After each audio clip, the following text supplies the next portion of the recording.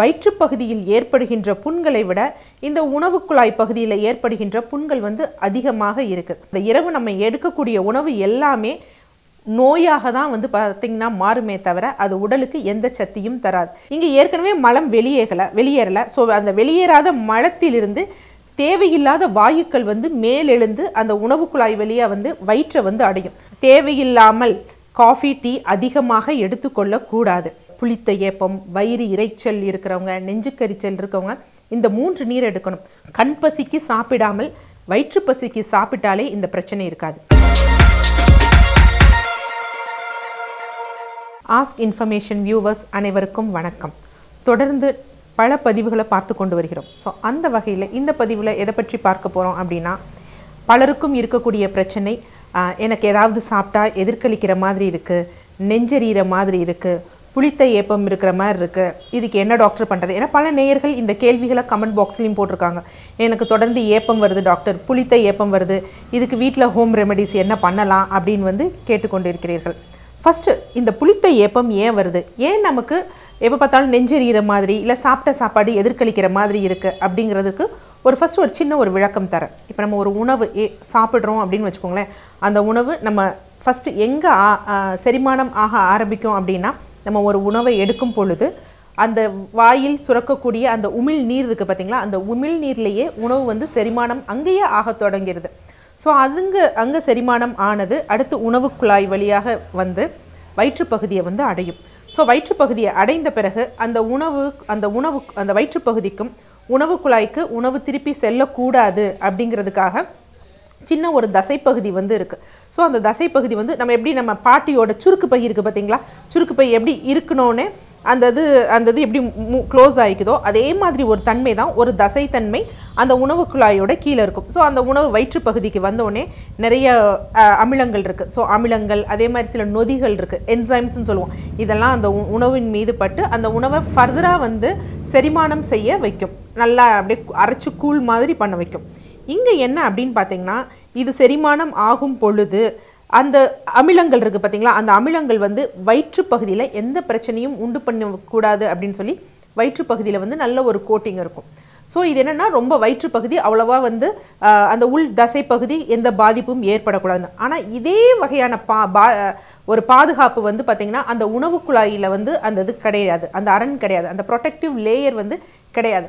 So அந்த மாதிரி இருக்கிறதுனால தான் பலருக்கும் வயிற்றுப்பகுதியில் ஏற்படுகின்ற புண்களை விட இந்த உணவு குழாய் பகுதியில் ஏற்படுகின்ற புண்கள் வந்து அதிகமாக இருக்குது ஸோ இப்போ இருக்கக்கூடிய அந்த கேன்சர் உணவு குழாய் சம்பந்தப்பட்ட கேன்சரில் கூட அதிகமாக இருக்கக்கூடிய கேன்சர் என்ன அப்படின்னு பார்த்தீங்கன்னா ஈசோஃபைஜியல் கேன்சர் அப்படின்னு சொல்லுவாங்க. அதுதான் ரொம்ப அதிகமாக இருக்குது இப்படிப்பட்ட அந்த உணவு செரிமானம் ஆகும் பொழுது அந்த பாட்டியோட அந்த சுருக்கு பை போன்று இருக்குது.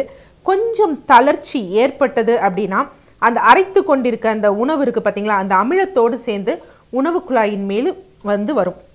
அதைத்தான் யூஸ்வலாக என்ன அப்படின்னு சொல்லுவாங்கன்னா கேர்ட் அப்படின்னு சொல்லுவாங்க.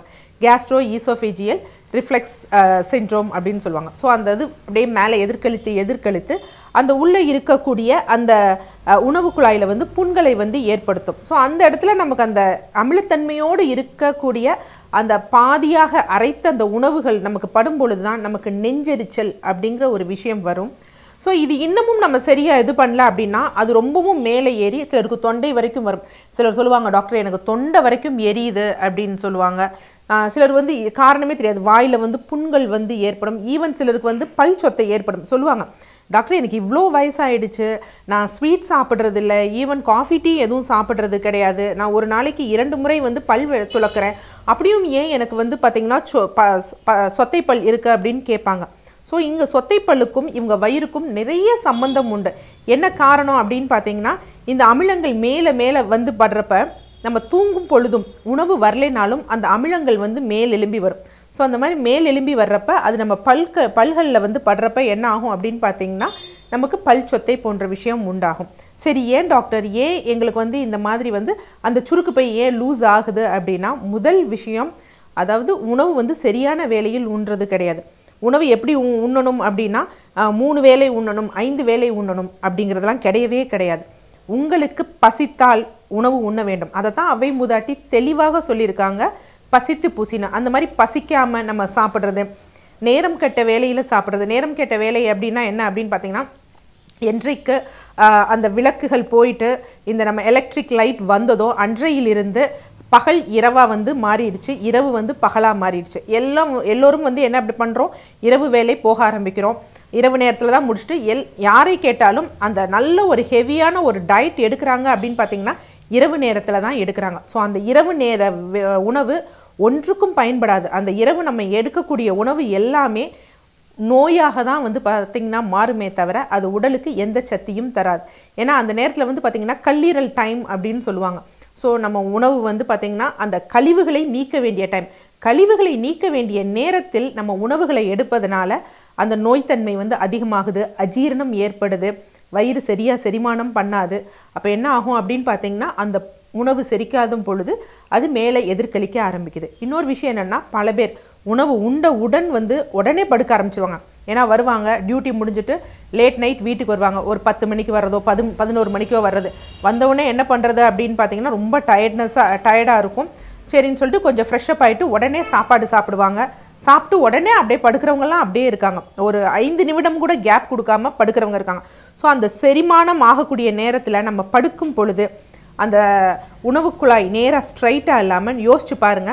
கொஞ்சம் அந்த சாய்ந்த நிலையில் இருக்கும் பொழுது செரிமானம் ஆகக்கூடிய அந்த அமிலத்தோடு சேர்ந்த உணவு வந்து நமக்கு எதிர்கலிக்குது ஸோ அந்த மாதிரி விஷயம் பண்ணுறப்பையும் கண்டிப்பாக இந்த பிரச்சனைகள் வரும். அடுத்த அளவுக்கு அதிகமான காஃபி டீ புகைப்பழக்கம். இது மூன்றுமே என்ன அப்படின்னு பார்த்தீங்கன்னா புகைப்பழக்கம் இருக்கவே இருக்கக்கூடாது. காஃபி டீ அப்படிங்கிறது ஒரு அளவு எடுத்துக்கொள்ளும் பொழுது உடலுக்கு நன்மை பயக்கும். ஆனால் இன்றைக்கு யாரும் நம்ம அளவாக எடுத்துக்கிறது கிடையாது. அது மாதிரி காஃபி டீ அப்படிங்கிறது எல்லா நிலங்களிலும் வசிப்பவர்கள் எடுக்கக்கூடாது. அந்த காஃபி அப்படிங்கிறது டீ எங்கே விளையுது? மலை பிரதேசங்களில் ஸோ அந்த குளிர்ந்த தன்மைக்கு மட்டும்தான் அது ஏற்றுக்கொள்ளக்கூடியதே தவிர எல்லா நேரங்களிலும் எல்லா பருவ காலங்களிலும் அதே மாதிரி எந்த வேலைகளும் இல்லாமல் நம்ம எடுக்கிறப்ப இந்த அதிகமான காஃபி டீயே வந்து இந்த மாதிரி அஜீரணத்தை உண்டு பண்ணி அதுவும் எதிர்கலிக்க ஆரம்பிக்கும். அதுக்கடுத்து ஏன் எனக்கு வரக்கூடிய ஏப்பம் வந்து புளித்த ஏப்பமாக இருக்கு அப்படின்னு கேட்டிங்கன்னா அது ஒரு ஃபர்மெண்டேஷன் ஆகுது. ஆக்சுவலாக நமக்கு பசி இருக்காது.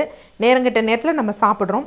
இதில் இன்னும் சிலருக்கு என்ன பிரச்சனை அப்படின்னு பார்த்தீங்கன்னா மன அழுத்தம் தூக்கமின்மை போன்ற காரணங்களால் மலச்சிக்கல் இருக்கும். ஸோ நீங்களே ஜஸ்ட் ஒரு இமேஜின் பண்ணி பார்த்துக்கோங்க ஒரு ஒரு ஒரு சட்டியோ ஒரு குடமோ இருக்குது ஸோ அதில் ஏதோ உணவுகள் போட்டு வைக்கிறோம்.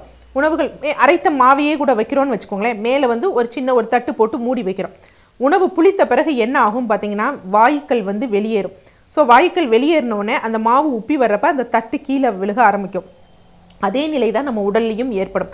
ஸோ இந்த மாதிரி மலச்சிக்கல் இருக்கும் பொழுது அந்த மலம் ஒரு மலம் கழித்த பிறகு தான் அடுத்த வேளை உணவு உண்ணணும். இதுதான் விதி. இதுதான் விதியே தவிர நம்ம என்ன செய்கிறது மலம் போயிருக்கவே போயிருக்காது. உடனே என்ன பண்ணுறது நம்ம காலையில் மலம் கழிக்காமையே காலை உணவை வந்து எடுக்கிறது. இங்கே ஏற்கனவே மலம் வெளியேகலை வெளியேறலை. ஸோ அந்த வெளியேறாத மலத்திலிருந்து தேவையில்லாத வாயுக்கள் வந்து மேலெழுந்து அந்த உணவு குழாய் வழியாக வந்து வயிற்றை வந்து அடையும். ஸோ அந்த வயிற்றை வந்து அடையிறப்ப என்ன ஆகும் அப்படின்னு பார்த்தீங்கன்னா அதுதான் வயிறு உப்புசம் சொல்லுவாங்க. நான் சாப்பிட்டோடனே வயிறு உப்பிக்கிச்சு டாக்டர் அப்படிங்குவாங்க சாப்பிட்ட பிறகு வயிறு உப்புவதற்கு காரணம் அந்த சாப்பாடு போய் அதிகமாக இருந்து உப்புவதில்லை.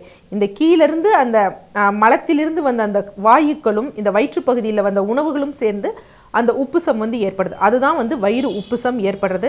ஸோ அது புளித்த ஒரு விஷயம் தானே. இந்த இந்த தேவையில்லாத வாயு அந்த செரிமானமாகக்கூடிய உணவோடு சேர்ந்து ஒரு புளித்த தன்மையை ஃபர்மெண்டேஷனை உண்டு பண்ணுறதான் இந்த புளித்த ஏப்பம் இந்த மாதிரி விஷயம் வருது. ஸோ இப்போ உங்களுக்கு ஒரு புரிஞ்சிருக்கும் ஏன் இந்த மாதிரி காரணங்கள் வருது அப்படின்னா? ஸோ இதுலேருந்து நம்ம வெளியேறணும் அப்படின்னா வாழ்வியல் முறைகள் ரொம்ப முக்கியமான ஒரு விஷயம்.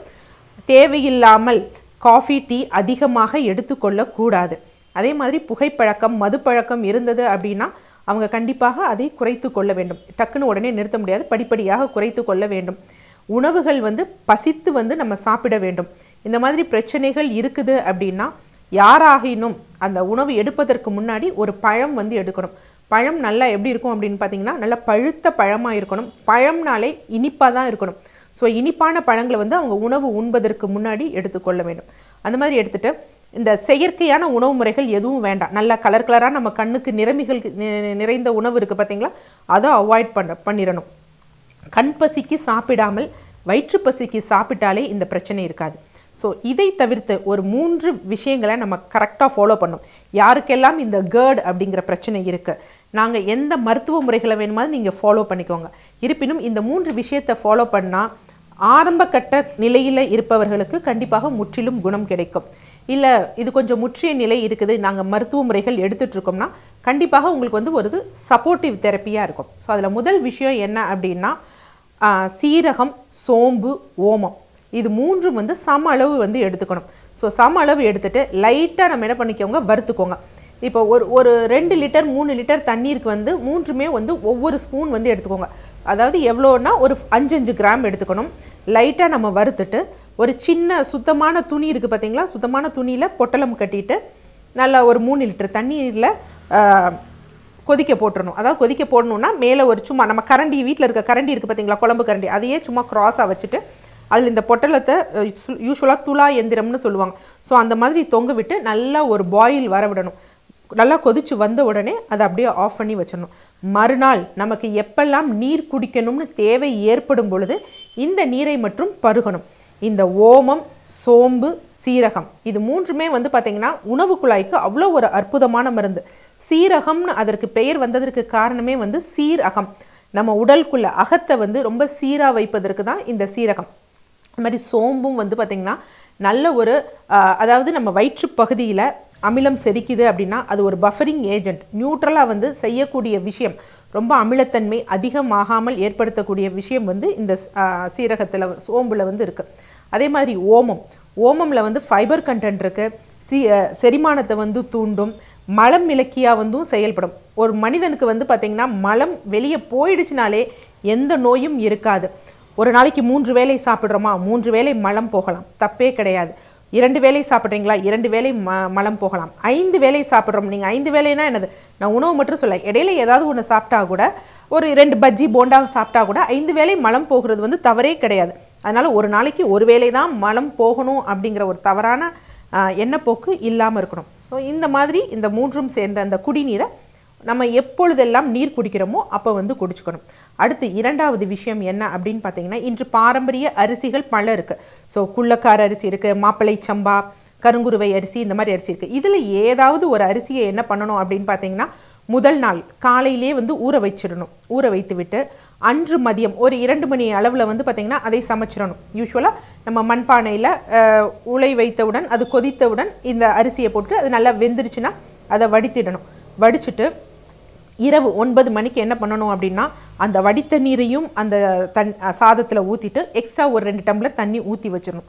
மறுநாள் காலையில் எந்திரிச்ச உடனே என்ன பண்ணணும்? அந்த நீரை மட்டும் வடிகட்டி கொஞ்சம் உப்பு சேர்த்து குடிக்கணும். ஏன் டாக்டர் இதுக்கு வந்து பார்த்தீங்கன்னா நாங்கள் சாதாரணமாக எடு இருக்கக்கூடிய அரிசியை ஏன் யூஸ் பண்ணக்கூடாதுன்னு சொல்கிறீங்கன்னா இந்த சாதாரணமாக இன்று யூஸ் யூஸ் பண்ணுற அரிசி எல்லாமே என்னன்னா பட்டை தீட்டப்பட்ட அரிசிகள். எல்லா அதில் இருக்க அந்த உமியில் தான் வந்து பார்த்திங்கன்னா நிறைய விட்டமின் பி ஒன் அப்புறமேட்டுக்கு வந்து பார்த்திங்கன்னா இரும்பு சத்து பல விஷயம் இருக்கு. அதையெல்லாம் பட்டை தீட்டினதெல்லாம் போயிட்டு வெறும் இந்த மாவை மட்டும் நம்ம சாப்பிட்டோம்னா இது மாதிரி தொடர்ந்து சாப்பிட்டோம்னா சர்க்கரை நோயை நம்மளே வந்து வெத்தலைப்பாக்கு வச்சு அழைச்சிட்ட மாதிரி இருக்கும். அப்புறம் இந்த டாக்டர் சொன்ன நீராகாரம் குடிச்சு தான் எங்களுக்கு டயபெட்டிக் வந்துருச்சு அப்படிங்கிற ஒரு விஷயமாகும். அதற்காக தான் இந்த பட்டை தீட்டாத இந்த மாதிரி பாரம்பரிய அரிசி வகைகள் எடுக்கிறோம். ஸோ அந்த மாதிரி ஏன் எடுக்கிறோம் அப்படின்னு பார்த்தீங்கன்னா இதில் நிறைய நல்ல பாக்டீரியாக்கள் வந்து இருக்குது அது மாதிரி இந்த வயிற்றில் புண்கள் இந்த மாதிரி ஏற்படுறதுல வந்து கேஸ்ட்ரல் மியூக்கோசல் ஒரு சளிச்சவ்வு மாதிரி ஒன்று இருக்கும். அது வந்து சேதமடைஞ்சிருக்கும் அது திருப்பி வளரக்கூடிய தன்மை இதில் இருக்குது அடுத்து மூன்றாவதான ஒரு விஷயம் என்ன அப்படின்னு பார்த்தீங்கன்னா இன்று நம்ம ஒரு யாராவது ஒரு நம்ம பேஷண்ட்ஸ்க்கு சொன்னால் கூட ஐயோ டாக்டர் அது வேண்டாம் நாங்கள் அது குடிச்சதே இல்லைன்னு சொல்லுவாங்க. என்ன அப்படின்னு பார்த்தீங்கன்னா மோர். எனக்கு ரொம்ப ஒரு இப்போ சமீப காலமாக தெரியக்கூடிய விஷயம் என்ன அப்படின்னு பார்த்தீங்கன்னா மோர் அப்படிங்கிறது நம்ம யாருமே எடுக்கிறது கிடையாது. மோரை வந்து ஒரு விஷயமாவே எடுக்கிறோம். இல்லை இல்லை அது வேண்டாம் அது குடித்தா எங்களுக்கு வாந்தி வரும் அது எங்களுக்கு ஆகாது. இன்னொரு விஷயம் என்னென்னா மோர் குடித்தா வந்து ஜலதோஷம் வந்துடும் தலைவலி வந்துடும் சைனசைட்டிஸ் வந்துடும் அப்படிங்கிற ஒரு விஷயம். மோர் போல் ஒரு அருமையான ஒரு விஷயம் எதுவுமே கிடையாது. இன்று நம்ம வந்து நிறைய சூப்பர் மார்க்கெட்டில் ப்ரோபயோட்டிக்ஸ்னு அப்படிங்கிற ஒன்று பார்க்குறோம் வாங்கி குடிக்கிறாங்க. இந்த ப்ரோபயோட்டிக் குடித்தா நமக்கு முடி நல்லா வளரும் ஸ்கின் நல்லா இருக்கும் அல்சர் வராது அப்படின்னு. ஆனால் அந்த மார்க்கெட்டில் விற்கக்கூடிய ப்ரோபயோட்டிக்கில் இருக்கிறது எல்லாமே வந்து பார்த்திங்கன்னா கார்ன் சுகர் ஸோ அதில் வந்து அதுலேருந்து ஏற்பட்ட அந்த ஒரு பாக்டீரியா தான். அதில் வந்து கம்மியாக தான் இருக்கும். ஒரு ப்ரோபயோட்டிக்கில் கிட்டத்தட்ட வந்து பார்த்திங்கன்னா ஒரு அஞ்சு அல்லது ஆறு நன்மை பயக்கும் பாக்டீரியா தான் இருக்கும். ரிமைனிங் அதில் வந்து பார்த்திங்கன்னா இருக்கக்கூடிய அந்த கார்ன் சுகர் இதெல்லாம் உடலுக்கு நன்மை பயக்கக்கூடியது கிடையாது. தேவையில்லாமல் நம்ம உடலில் சர்க்கரை அளவை தான் ஏ- அதிகரிக்கும். ஆனால் இந்த மோரில் வந்து பார்த்திங்க அப்படின்னு பார்த்திங்கன்னா இல்லாத சத்தேன்னு சொல்ல முடியாது. கிட்டத்தட்ட வந்து பார்த்தீங்கன்னா ஆயிரக்கணக்கான நன்மை பயக்கக்கூடிய பாக்டீரியா ஒரு கிளாஸ் மோரில் இருக்குது அதே மாதிரி கால்சியம் பாலை விட கால்சியம் அதிகம் இருப்பது வந்து என்ன அப்படின்னு பார்த்தீங்கன்னா ஒரு கிளாஸ் மோரில். ஒரு நாளைக்கு நமக்கு வந்து ஒரு கால்சியம் ஒரு ஐநூறு கிராம் வேணும் அப்படின்னு சொன்னீங்கன்னா அதில் கிட்டத்தட்ட வந்து பார்த்தீங்கன்னா ஒரு ரெண்டு கிளாஸ் மோர்லேயே நமக்கு நிறைய வந்து கிடைச்சிருது. அது நன்மை பயக்கக்கூடிய பாக்டீரியா இருக்குது அதனால் மோரை வந்து தொடர்ந்து எடுக்கணும். அதே மாதிரி மோர் எடுக்கிறப்ப உணவு குழாயும் வந்து சீராகும். உள்ளே எந்த பாக்டீரியா இருக்காது. கழிவுகளை வந்து வெளியேற்றும்.